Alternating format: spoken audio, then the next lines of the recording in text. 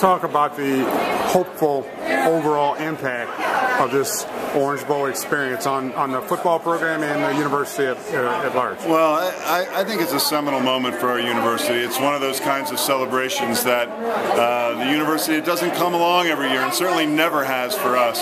And so to go to the Orange Bowl, to have that opportunity, and we've been talking a long time about being the first team from the MAC mm-hmm. uh, to, to represent that conference in a BCS game, and to do that in the Orange Bowl, I'm so excited about that, and it's it's something that uh, most of our alums they're talking about it. It's my phone blew up right away, uh-huh. and uh, it's been one of those those events that I think everyone will remember where they were when they heard about the announcement. Yeah. And I, I heard already that uh, the uh, merchandise sales of NIU T-shirts, yeah. etc., has just skyrocketed. So. It has. Uh, we we heard from our um, licensing group today that uh, the sales for NIU, the Husky stuff, is going off the shelves everywhere. Uh-huh. more online orders than ever, and so. Um, certainly people are uh, going to our website more than ever before and finding out about the Huskies. Mm-hmm. So it, it's great for us because I think once they start learning about our football team, they start learning about our university. And, you know, it's that old cliche, we're the front porch. I told our trustees today,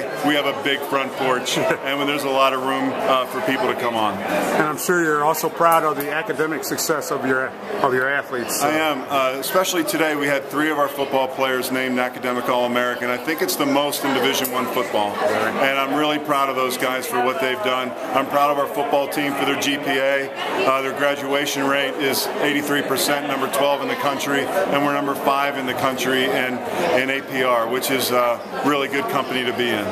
Talk a little bit about uh, Rod Carey, and looks like he, he wants to be here for a while. I think he does. you know, he's a Midwestern guy. Mm-hmm. Uh, he grew up in Minnesota, played in Indiana, so he's in the right spot. And uh, he's got a great Husky background. You know, uh, Coach Bill Mallory was his head coach who coached here, and Coach Novak was on staff when he was at Indiana as well. So there's a nice Husky historical tie there, which I think is great. And then um, he just loves it here, and you can tell that. And he wants to continue to build this program and and uh, keep our program intact. And I felt like we've gone from being a pretty good team to now being a great program, and I think he'll uh, allow us to continue that trend.